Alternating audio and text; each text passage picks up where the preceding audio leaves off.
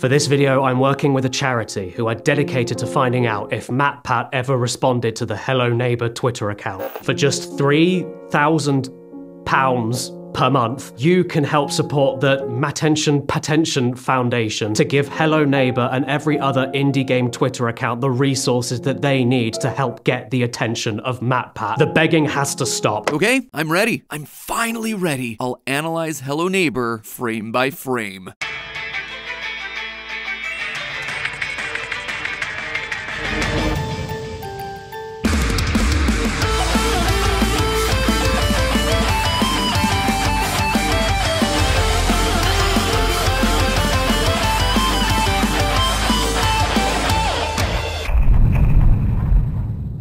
Internet! Welcome to Game Theory, the show that's always late to the meme. And no, you didn't read that title wrong, my friends. Today's the day that I finally answer the developer's call. Today, I'm putting one of the most iconic MatPat memes to bed. Today, I'm gonna be analyzing the test pilot for the Hello Neighbor TV show, frame by frame. Now, if you have literally no idea what I'm talking about here, let me just bring you up to speed. Hello Neighbor, probably a game that needs no introduction, right? It was an indie horror game that blew up a couple years ago, all about a kid trying to break into their neighbor's house to discover the secrets that are hidden inside his basement. At the time, the devs really hyped up the enemy AI, the neighbor getting to know your routes through his house, getting smarter as you played. It was an idea everyone got really excited about. And the story they were teasing was also really cool, with images indicating that this mysterious neighbor had sold his soul to the devil. And so they released a pre-alpha, and then an alpha, and then another alpha, and another, and then there were like three or four separate betas, and each time the game was just vastly different and significantly worse. It's not going. The ball is stuck. It's stuck. Why does our copy of the game literally not do anything that it should be doing? until the full game finally released and it just wasn't good. It was glitchy, the puzzles didn't make sense, and the story was incoherent. It was this really big letdown for me for a game that honestly I thought had a lot of promise. Now, I'd done a handful of theories on those alpha builds, and those really helped the game blow up in its early days. But after being so disappointed over and over again with the various releases, just kind of stopped covering the whole thing. Fast forward two years, and suddenly there's a new TV pilot for an animated show based on the series, and I'm getting tagged by the Hello Neighbor staff on Twitter to not just watch the thing, but to analyze it frame by frame. And normally that sort of thing be fine, no big deal. I get asked all the time on Twitter to analyze things. But what made this one different is that they did it over and over and over again. Not just once or twice, but three times back to back to back, basically saying the same thing over and over again. They were practically begging me to do a theory on this thing. The internet would eventually notice this long string of tweets, they were screen grabbed, and then they became immortalized as a meme. As for me, yeah, I never wound up doing it. I never did watch that TV pilot, nor did I analyze it frame by frame like they were asking me to, until today. That's right, I'm finally going back to analyze this thing frame by frame four years later, which, you know, is, is fitting. I was always late to the meme anyway. But what's our theory looking to do today? What am I trying to prove? The deep lore of Hello Neighbor? Yeah, I suppose there's gonna be a little bit of that in here, but the real question that I want to answer today is whether or not I enjoyed it. Was tinyBuild right? Would I have actually enjoyed analyzing their TV pilot frame by frame? In total, there are 8,748 frames of this thing, so uh, we better get to cracking. But before we get all conspiratorial with the pilot, I first gotta tell you about something else conspiratorial. Some of you have already been putting the pieces together over on Twitter, but now I can confirm as part of my retirement from hosting the channels, I finally have my very own Youtooz figure. That's right, my friends, I'm finally immortalized amongst the pantheon of YouTuber collectible figures. Look, Ma, I made it. I worked together with the Youtooz team to really personalize every element of this figure. The iconic red jacket, the hair swoosh, my favorite pair of shoes, even the smile that I put on when I'm dying inside trying to solve the FNAF timeline. But you're not just getting me, my friends, with this Youtooz, you're also getting my very own conspiracy board. This thing is chock full of little Easter eggs for you to discover. Plus, I had to be joined by my original best boy, the absolutely iconic psychic friend Fredbear. He's here, he's there, he's everywhere. Who you gonna call? Psychic friend Fredbear. That's not all. For all you pin collectors out there, there's also these incredible spinning pins. Now you can have me shouting, Lord! to Music Man anytime and anywhere you go. My personal favorite, though, has got to be this one of me becoming a meat pretzel inside of Glamrock Freddy's stomach hatch. Look, it even opens and closes. Must be like some sort of robot kid. Now, if you don't know how Youtooz works, these are all limited edition items. In other words, once they're sold out, they're never coming back. There's a countdown clock and everything, which is why it felt fitting for them to be one of my final merch items. Feels poetic in a way. So grab yourself a little piece of history before they and I are gone forever. They're all available right now at youtooz.com. Hurry down to the description and click the link to get your little MatPat while you can. Now then, I'm gonna take my seat right here on the couch, and we're finally gonna take a look at the YouTube pilot episode for a game about the scariest thing of all, stacking boxes. It's the ultimate box stacking. You've got to stack the boxes all the way up there. The final boss isn't a giant neighbor. It's the a box stacking puzzle. You're like, no! The pilot's only five minutes long, but it gives us a pretty solid foundation of what the plot of the show would be. It follows a group of kids who are all suspicious of the neighbor, so they decide to investigate his home to see what they can find. Of course, it doesn't quite go according to plan. The neighbor tries to catch him, but using his own house against him, they're able to escape. The kids watch as he puts a body into his trunk and drives off. Curious, the kids follow him and discover that it wasn't a body after all, but rather a doll that he then promptly buries. The neighbor yells at the sky for a bit, realizes that the kids are watching him, and then chases them away. They once again escape, racing home before the neighbor does. They watch him from the window until, of course, the neighbor turns and stares back. Cut to black. It's short, it's sweet, it captures a lot of the feeling of the original game. It's got secret passages, a mysterious but angry neighbor, and of course, a mystery about what the heck is going on with this guy. So if we want to figure that out, we gotta do what the meme suggests and go through it frame by frame. Here we go. Okay, so right here at the start, frame five.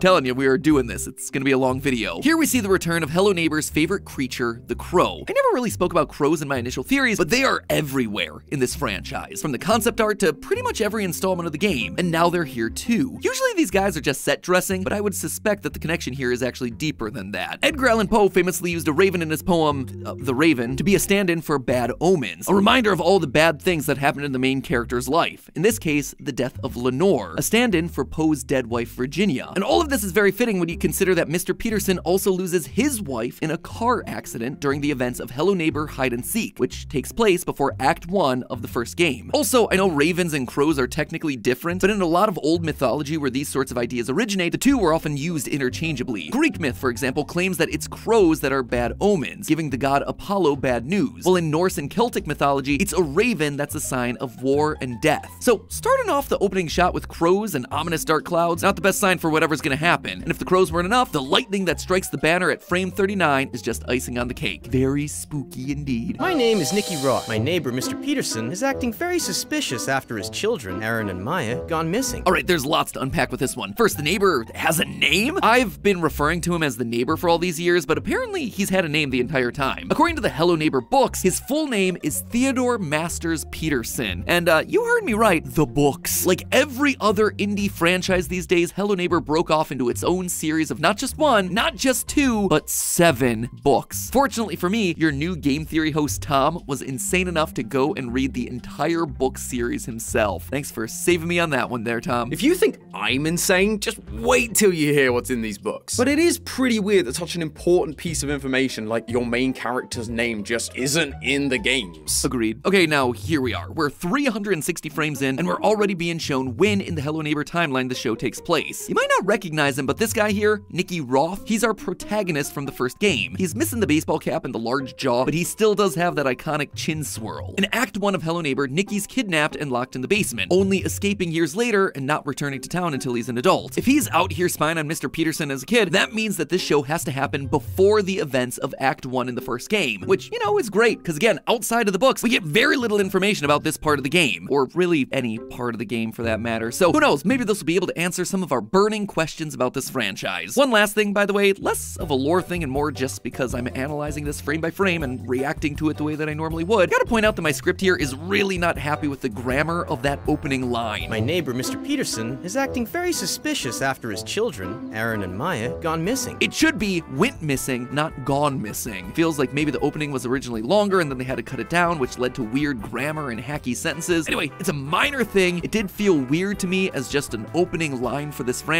but hey, let's get back to the lore. 4:30 p.m.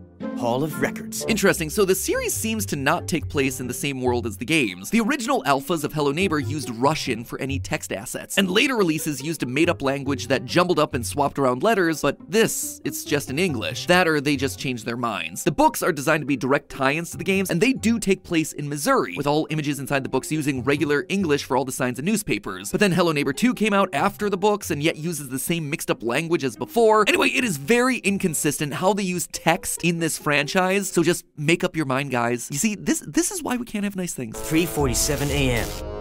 Soldering in basement. Frame 890. This one stood out to me as odd. For the first time, we can actually see into the basement without going inside. The basement in both the games and the books are specifically called out as having no windows. Quote from the book Bad Blood. The basement is pretty dreary, windowless, with nothing more than a hanging bulb here and there. And in the games, we literally see fake windows with drawings of the outside world pressed up against the stone, something that the books tell us were made by Mr. Peterson's son, Aaron. We can see the hanging light bulb that was mentioned, but the fact that Nicky can see inside the basement does ruin a lot of the mystique that both the games and books tried to build up about this mysterious room in the house. However, while it's certainly weird for the story, it does help us theorists because it's full of interesting details, namely that it's full of amusement park attractions. We've got a bumper car, a carousel horse, a ticket booth, and a bunch of schematics on the wall for things like a Ferris wheel. This ties in with what we saw during the very first teasers for this game, where we see Mr. Peterson wearing a clown outfit. Back in the day when I was actively covering the series, I was always confused about that detail because it didn't tie into anything else that we were being shown, other than maybe a possible connection to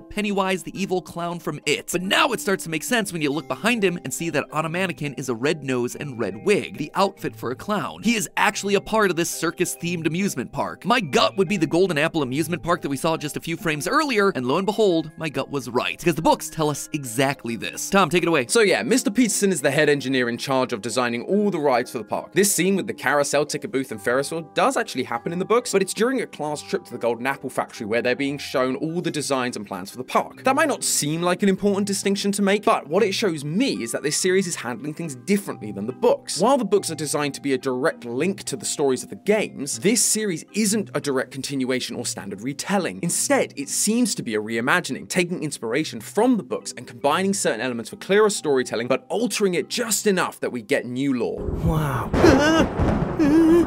We've skipped ahead a bit, but this is where things get really interesting. As you can see, across the room we see the phrase cursed written all over the walls. Cursed, along with the word omen, are regularly seen throughout the books, graffitied over both the Golden Apple amusement park rides before it opens and on the Petersons' house years later. Typically, these phrases are written by a group called the Forest Protectors, a cult of elite members from the town that dress in bird costumes and perform rituals to bring themselves good luck and the rest of the town bad luck. Yes, this is an established part of the lore, and I'm shocked that you wouldn't have figured that out by playing the game Anyway, during the events of both Grave Mistakes and Puzzle Master, Mr. Peterson's son Aaron and his daughter Maya start to investigate the Forest Protectors, and so the Forest Protectors begin to sabotage Mr. Peterson's amusement park rides, graffitiing them with these words to try and warn him to stay away. Of course, they don't listen, which leads to one of Mr. Peterson's rides malfunctioning and killing a young girl. This would seem to imply that the Forest Protectors are at play here, but not so sure. Remember, this series seems to be paralleling the books, but it's not one for one. This looks to be Aaron's bedroom. Notice the small baseball cap over on the side. So it feels very strange for the Forest Protectors to be inside of the Peterson household, especially given how protective we know the neighbor is. Heaven?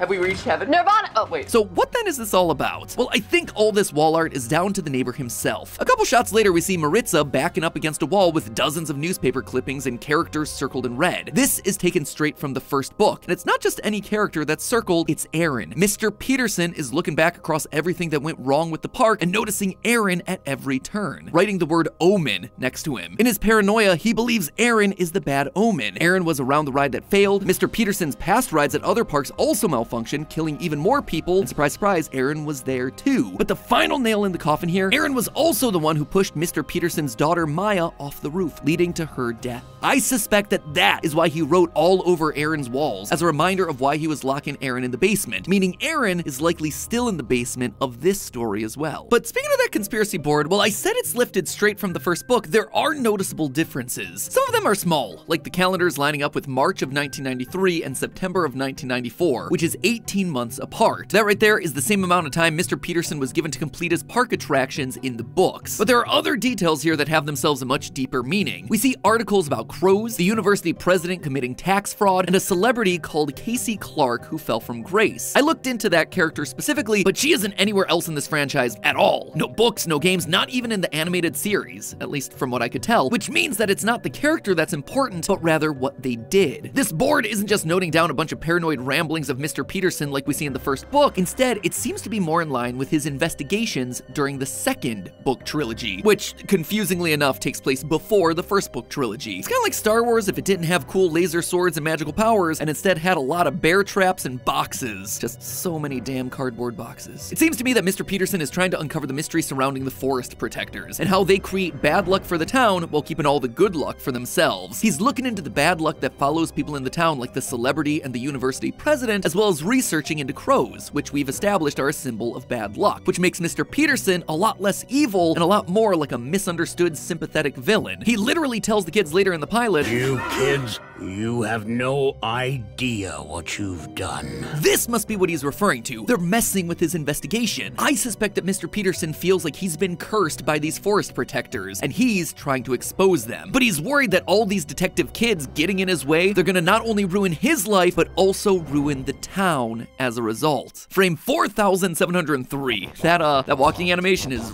really something. His body's always turned to the left and we can't see his legs. Makes it look like they've used a forward walking animation but just keyframed it sideways. And that's weird because they've shown front-facing versions of him before. So it's not like a Sonic the Hedgehog or Mickey Mouse situation where they always have to face one side or the other because of that iconic shape. Hopefully they were able to iron that out in the full series. Other than that, yeah, nothing really to add. It just made me laugh. These are the little details that you notice when you're asked to do things frame by frame. No, not this time. Not this time. You're not gonna do this to me again. Not again. And just like that, we're into our final scene. And I gotta say, the neighbor is far less scary as soon as you make him speak. Part of what was terrifying about him in the games, and even in the first trilogy of books for that matter, is that he almost never speaks. In the second and third book especially, he just towers over Nicky without saying a word, just staring. That makes him creepy and mysterious. But as soon as he starts talking in full sentences like this, kind of ruins the mystique, makes him a lot less threatening. I get that he's human, and they're trying to make him more sympathetic, but I don't know, it just kind of takes the wind out of the sails there. Anyway, we're back at the Golden Apple Amusement Park, which really is the linchpin of the series. So much happens here in the book series, and we're clearly seeing some of that take place here. The crows begin to circle, and in the second trilogy of books, crows only begin to circle during storms. Now, the crows themselves aren't strictly involved in anything nefarious. In the books, and in reality, birds actually use the Earth's natural magnetic field to help navigate their way, namely during seasonal migrations. Messing with that field, though, can cause an effect known as electrosmog, which causes birds to break away from their traditional flight paths. Now, really big storms do have the ability to affect electromagnetic fields in the world, but never really enough to affect bird migrations. Here in Raven Brooks, though, they're known for having incredibly powerful storm systems compared to the rest of the country, which in turn causes the crow's flight patterns to shift drastically, leading them to then circle. However, this also acts as a sign of a storm coming, and when a storm comes, that means the forest protectors have begun their ritual to curse the town and thereby bring themselves good luck. That's why we see Mr. Peterson here yelling at the sky, You're not gonna do this to me again! It's not the crows that he's speaking to, but rather the forest protectors who are bringing a curse upon him and the rest of the townspeople, which he blames for the death of his wife, his daughter Maya, and the failure of his ride designs. Later in the scene, we see him reveal an object with a gemstone in the middle, which is another direct reference to the forest protectors and their ritual. It does look slightly different in the books, but clearly it's meant to be the same thing. Quote, it's not quite round, but not a cube either. It has lots of sides, each one catching the early dawn light creeping past the clouds. From here, it looks to be about the size of my palm, a tarnished brassy thing. And just look at the pictures. Clearly, there are some obvious comparisons here. Now, this device in the book is super important because it's part weather detector. This allows the forest protectors to know when a storm's coming so they can perform their good luck ritual. But it also seems to be the thing that actually brings good luck to anyone who's holding it. Wonder if that's maybe why it changed its shape. There are these real world gemstones called star sapphires. They look like normal sapphires but with a star shaped pattern in the middle. Back in the day, they were thought to ward off witchcraft, hexes, and curses. Now, in the book, Mr. Peterson managed to make one of these, and suddenly the investigation into his past ride malfunctions and all the deaths that they caused, they all get dropped in an instant. So again, this seems to be what he's referring to here when he talks about the Forest protectors not doing this to me again, because he now has the device that'll be able to change his fate. But one thing you'll notice throughout my analysis here is the repeated phrase in the books, in the books, right? All of this stuff is explained in the books. So I just wanted to see if there was anything I could take away from this scene that didn't rely on book knowledge. And the thing that stood out to me was the burying of the doll in the middle of the amusement park. This doll was Maya's doll that we see her carrying around in the game Hide and Seek, which which came out in 2018. Now, this doll has shown up in later games of the franchise, like in an underground shrine during the VR game Search and Rescue, but Mr. Peterson's never buried this doll specifically in any of the other games or stories as far as I can tell. So why change that? Well, I would imagine that they're expanding on the Crow lore, which kind of sounds like a joke, but I'm being completely serious here. I mentioned at the start of this episode how crows were a sign of bad luck and death. Part of the reason for this was because crows would circle battlefields after a war, looking to feast upon the dead that lay across the land. However, there is another potential meaning if you see crows circling, a more spiritual meaning. One interpretation of crows circling like we see is that there's a spiritual transition between our world and the spirit world taking place. This can be as simple as someone communicating from beyond the grave, but it can also be a symbol of rebirth. And you see, this is where the doll comes into play. These dolls have a spiritual element to them, and we see that in real world with puppets. Now, puppets are meant to serve as a bridge between humans and the spirit realm, allowing the user to remove the effects of curses, hexes, omens, and even bad luck. And hey, would you look at that? There's that whole luck thing again. The VR game Search and Rescue actually uses dolls in a similar way. In the final level of the game, Aaron is able to use a doll of another character to switch between his own body and theirs. The dolls have a spiritual connection to them, and when you combine that with the crows circling, makes me think that Mr. Peterson burying Maya's doll and using the good luck device from the book is all part of some kind of ritual of his own. Either trying to bring him and his family good luck, like we see in the books, or maybe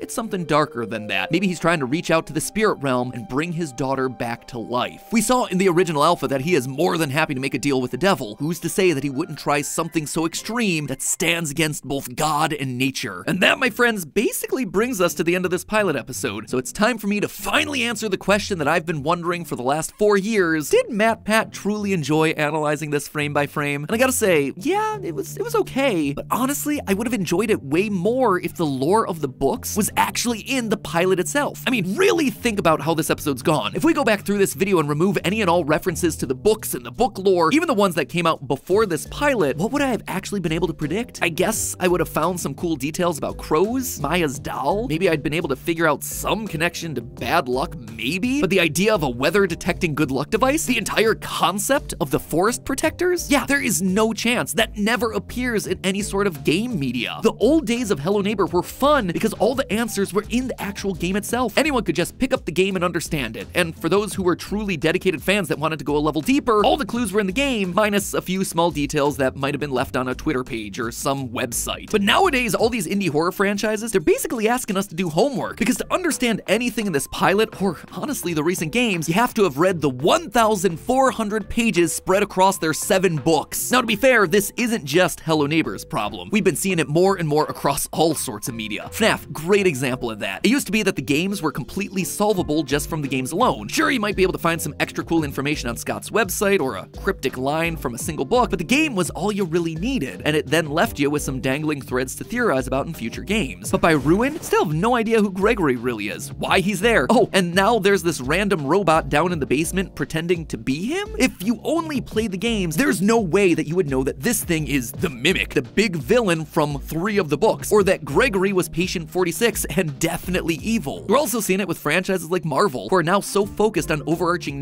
narratives that the individual stories are becoming less contained. And if you do hope to understand everything about the main antagonist, sorry, you gotta binge eight hours worth of television shows multiple times over. This naturally leads to more frustration and more burnout in the fan base. Now, any theory that gets made stops being a theory and becomes more of a recap of the last few books that nobody bothered to read, which just isn't interesting for me as a theorist or for people watching these videos. When these tweets initially came out, part of the reason I didn't respond was for exactly this reason. I had my hands full with the FNAF books and didn't have time to catch up on all the extra outside media that was being made for this particular franchise. But look, I don't want this to be a complete downer of an ending because besides the box stacking and glitchy gameplay, I think this franchise is fun. It's goofy, it's dumb, but it's fun. The story in the books is actually a good story. We just need it within the actual games and show because there's a lot of potential for the future of this franchise in the theorizing department. From what I can tell, there are more Hello Neighbor games on the horizon. I mean, Hello Neighbor Diaries literally released a couple months ago in December. Tom told me that the seventh book ends on this massive cliffhanger and seems to be part of a trilogy that never finished, and I know that there's the whole of season one, as well as potentially season two and three coming for this show that we analyzed the pilot for today. There just needs to be a bit more of a balance here. Give your games and your shows a little more lore, mix in a couple more clues, and make your books a little less important in that equation. Because at the end of the day, those mysteries are the things that keep us theorists coming back for more, and those are the things that allow us to hook into a story and care about the characters, as opposed to walking away from a five minute pilot going, what did I just watch? And if you can manage to find that balance, who knows, maybe the rest of the industry will take notice and you'll manage to get Tom and Lee coming back to make their own theories about your franchise. But as for me and this pilot, as I ride off into the sunset, I think we can finally call this meme officially dead and buried. But hey, that's just a theory. A game theory. Thanks for watching.